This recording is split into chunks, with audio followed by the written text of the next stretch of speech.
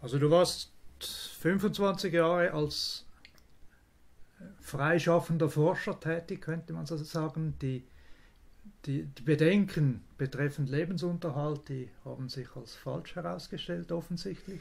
Sonst würden wir heute nicht hier sitzen.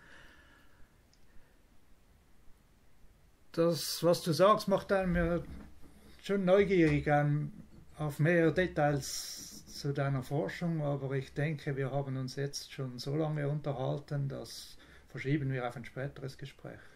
Ja, danke schön. Also es freut mich, äh, dass äh, mein wissenschaftlicher Lebensweg, der auch nicht frei ist von vielen persönlichen äh, Erfahrungen, Erfolgserlebnissen und Rückschlägen, dieses Interesse findet. Und ich bin sehr gerne bereit, natürlich präzisierende Auskünfte zu geben. Und es ist stets spannend, auf den eigenen Werdegang äh, zurückzublicken und äh, vielleicht zu ihm auch äh, die immer notwendige kritische Distanz zu finden, damit man nicht eben bei einer Teleologie des äh, biografischen Fortschritts landet und äh, die geistige Wachheit äh, so lange wie möglich behält.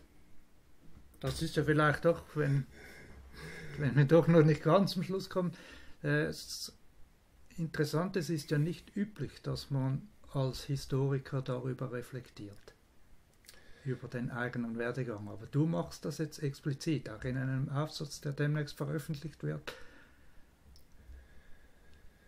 Das ist äh, eine Erfahrung, die mich äh, sehr erstaunt und die ich immer wieder äh, machen musste.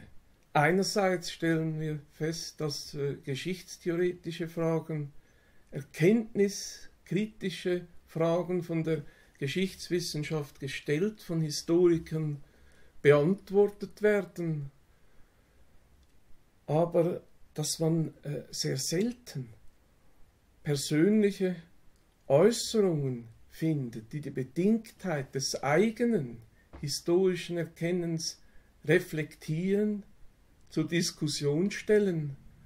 Und ja, man müsste oder könnte bestimmt über diese Gründe nachdenken.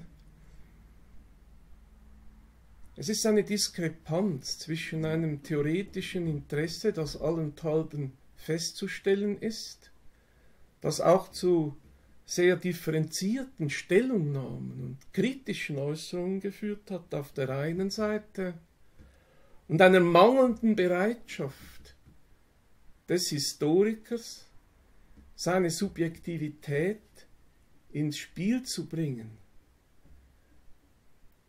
Dann denke ich, haben wir schon ein zweites Thema gefunden, das wir in einem nächsten Gespräch noch genauer besprechen können. Also dann danke ich dir, dass du dir Zeit genommen hast.